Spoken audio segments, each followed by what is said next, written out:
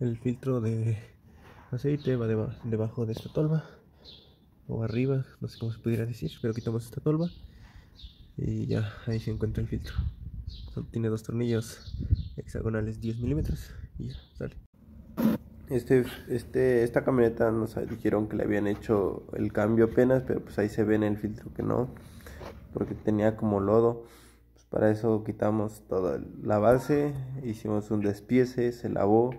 El filtro nuevo ya incluye los O-rings, las ligas nuevas y pues se lavó todas las piezas. Este aparentemente se le había cambiado el aceite, pero pues con lo que se lavó nos dimos cuenta que no creo que limpiaron esa base del filtro estaba muy sucio y pues ya empezamos a armar nuevamente con sus ligas nuevas, los ornings nuevos, eh, los lubricamos bien porque ahí lleva una tapita como es como un check eh, y se le lubricó sin, sin, ensuciar toda la pieza alrededor, eh, se le puso su, su tapita del, que es como un check y ahí estaba armado. Ahí también ya se limpió. Y aquí he lubricado las ligas y ahora sí va para adentro. Nada más enrosca.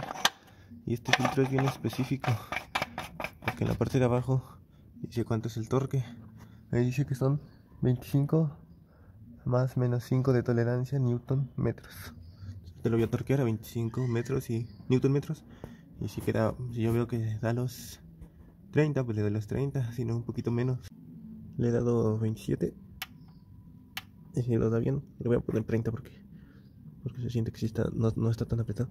Le voy a poner 30, que los da bien. Y así concluimos este servicio. Es una Toyota Highlander y ahí está la medida de la llave que usamos para sacar el filtro.